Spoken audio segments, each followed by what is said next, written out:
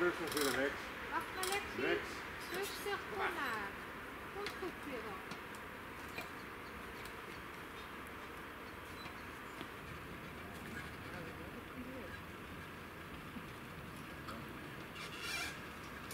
Toch